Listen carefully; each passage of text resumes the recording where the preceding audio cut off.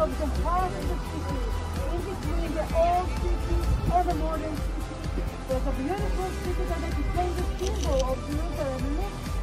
Look over there. You see the tower that became the symbol of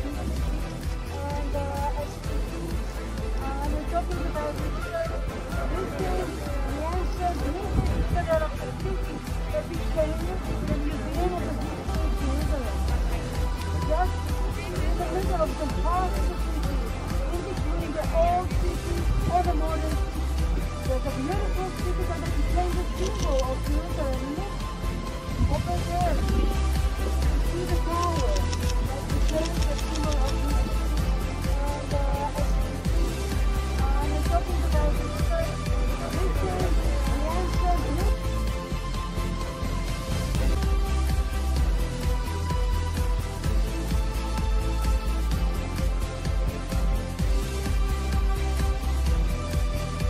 It's official.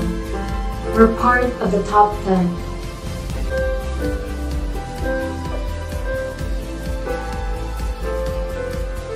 The Philippines is unfortunately the ninth country in the world with the most number of stunted children.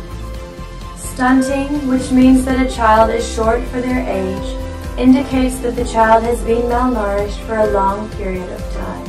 The number of stunted children that have been recorded in the Philippines has already reached 3.6 million. And every day, 95 children die because of malnutrition.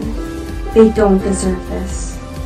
Every child has the right to live and deserves a better and healthier life. And you can help make it happen. Join us in delivering hope for the future through the partnership between Miss Universe Philippines and Save the Children Philippines.